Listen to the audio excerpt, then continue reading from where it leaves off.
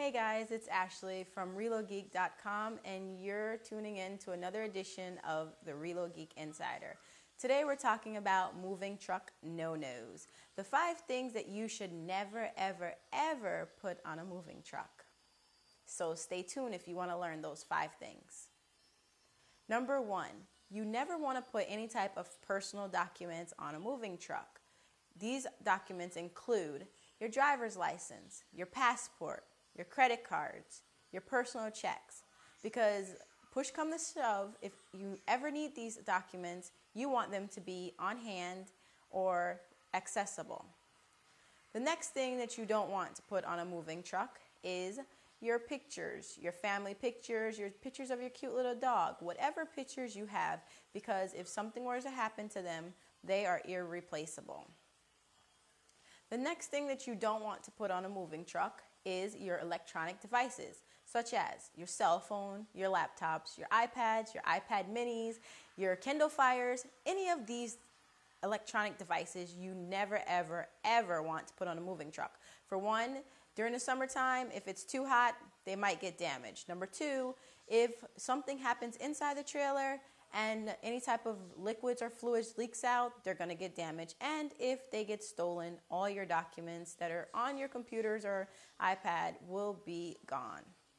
The next thing you never want to put on a moving truck is any type of collectible art or antiques.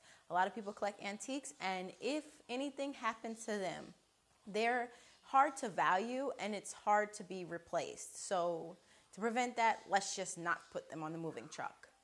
The other thing that you should never ever put on a moving truck is your prescription meds. I know it seems such an obvious one, but you would not believe how many people have accidentally packed their prescription meds into a box and ended up on a moving truck. And then when it's time to take your medicine, you don't have any. So, those are my tips for the five things you should never put on a moving truck. To recap, number one, don't put your driver's license or any type of personal documents on a moving truck. Number two, your pictures, you know, the cute little ones of the dog or your baby's first steps. We don't want those on a moving truck. Number three, your electronic devices. Let's not put those on a moving truck. Number four, your art, collectible art, or your antiques. Let's not put those on a moving truck. And the last thing is your prescription meds.